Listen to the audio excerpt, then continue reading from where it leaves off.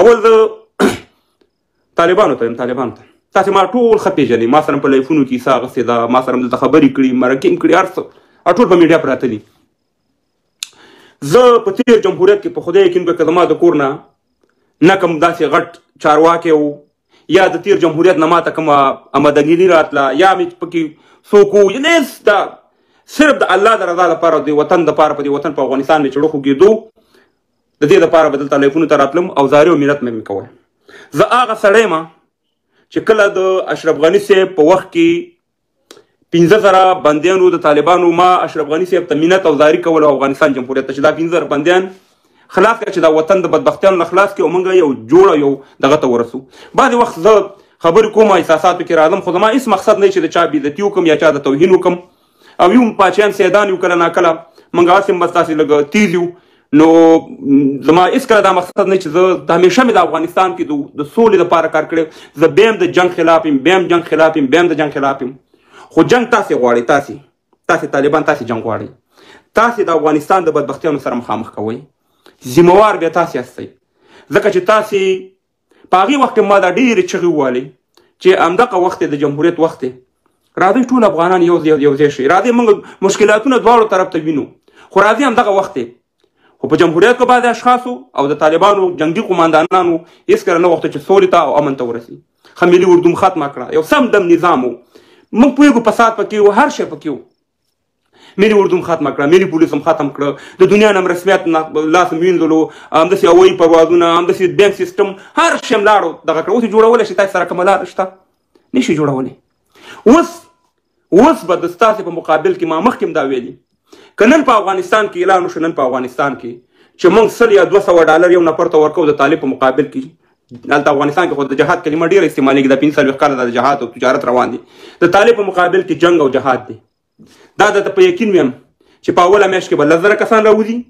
په دویمه میاشت کې به شل زره په بله میاشت کې به دېرش زره یعنې په د پنځه شپږو میاشتو کې به ستاسې په خلاف باندې په لکاو خلک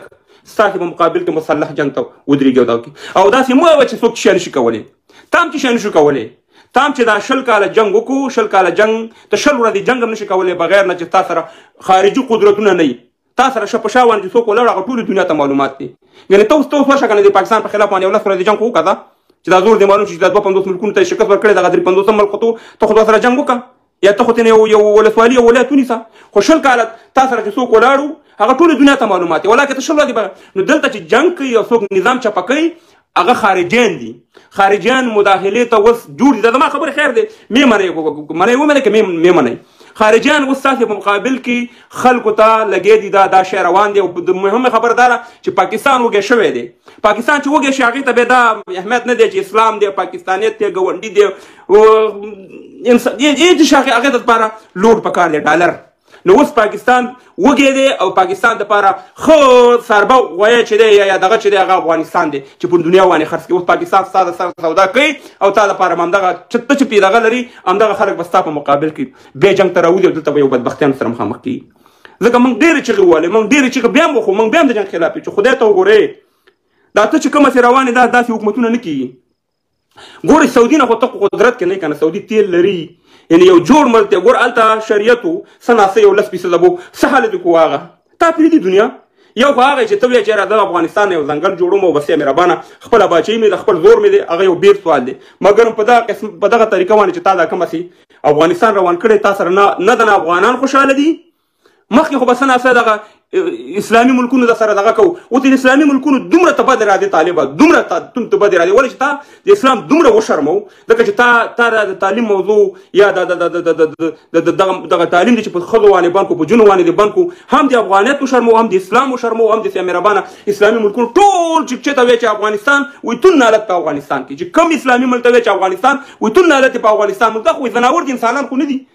ځکه چې په یویشتمه صدۍ کې دی په خویندو میندو باندې مکتبونه بندوي ولې داسې دې وکړه ولې دې ولې دې داسې وکړه ولې دې جمهوریت ختم کو ولې دې ملي بیرغ کته کو ولې دې ولې دې افغانان د بدبختیانو سره مخامخ کړ نن په نن هر یو افغان هر یو افغان سړي رښتا ته چې په برستانه کې پروتي دا سوچ وسره چې زه خارج ته لاړ شم تا سره دې زغم فکر نشته دی په خپل موټر کې غردس یو غردس یو چې مهربانه فتح مې کړې دا او ځان مې ختم کړې چې فتح وروس دی نیولې امریکا دی نیولې ده ډیلیا دی نیولې ده چې شه د فتح خپل وطن دی خپل وطن کې فتح او د پښتون کې تاسو ویوي نن نن افغانستان دی یو بل جنگ طرف ته روان دی ځکه چې مونږ تر څو پورې ما مخکې په دې لایفونو کې تر څو پورې چې مونږ دا برداشت نه کړي دا برداشت چې یو بل نه برداشت کړي یو بل په دې افغانستان کې یو یو مشترکه دغه نه جوړ کړي دا به مونږ بدبختیان سره مخامخ ګوره خلقین رااله زه لس یولس حکومتونه زما زما د سترګو د وړاندې په افغانستان کې چپه شوي لس یو د ثور کودتا نه واله تر اوسه پورې داود خان نور محمد ترکه حفیظ الله امین ببرک کارمل ډاکټر سیم نجیب صفت الله مجددي ربانی ملا عمر کرزی اشرف غنی صاحب دا ټول دا زما د سترګو د وړاندې دغه ټول نظامونه زما د سترګو د وړاندې چې وجه څه شوه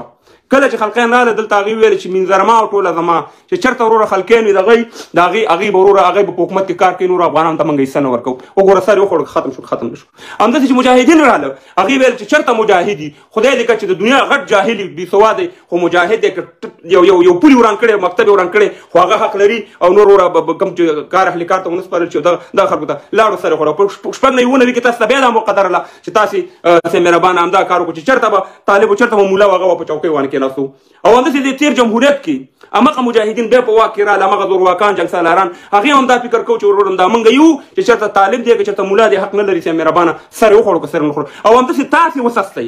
همداسې تاسو وسستئ چې تاسو وروره چې چرته وروره کومه چوکۍ بس چې خالي چې مولا پکې چې د مولا حق دی د طالب حق دی چې چا چې ډیر بمونه پټاو کړي هغه حق لري خپل خپل هغه یو لګی دی طالب تاسو به خبرې اورېدلې په تاسو باندې حکومتونه نه کیږي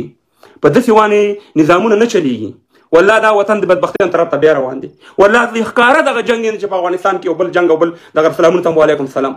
بالکل دغه دغه وطن د بربادۍ طرف ته روان دي بیروزګاری بالکل د حج ته رسیدلې ده منګ نن په یو موټر باندې خوشاله څومره خوشاله لکه یو موټر یو شخص جوړ کړی دی منګ افغانستان دغه شان افغانستان غواړو مګر تاسو نه غواړئ تاسو خپل ضد خپل کینې خپل دغه غسیاستئ اوس هم ټیم دی اوس هم ټیم دی چې راوګرځي افغانانو ته مخه کوي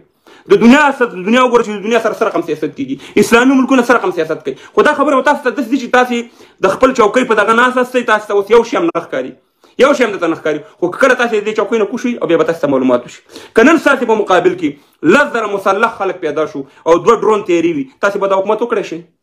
او دا حالات دي نه دا حالات دي نه په ورځ په ورځ باندې دلته د د امنیت د حساب افغانستان به امن کیږي دا دا دا دا, دا شی روان دي نو خبره دا ده چې الله دې خیر پېښ کړي خو د 2000 2023 کال یعنی د اپریل نه د سلورم میاشتې نه خو د افغانستان د پاره خدای غنی نه مزکه چې